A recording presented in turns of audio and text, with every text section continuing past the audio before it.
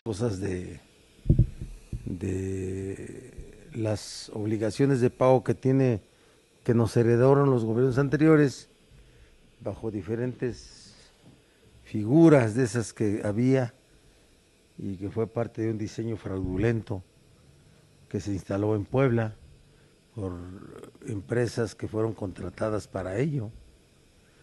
Eh, deben de verse, se los digo claro, cuántas, en, en cuántas causas puede haber. Hay, habría.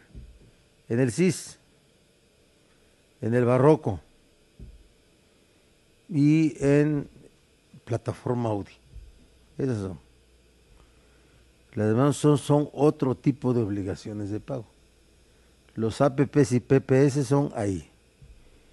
Y en donde ya tenemos planteado un litigio es en el caso de el CIS. Nos falta plantear el tema del barroco, que es muy grande, y el tema de plataforma Esa es una. La otra pregunta, ¿cuál es?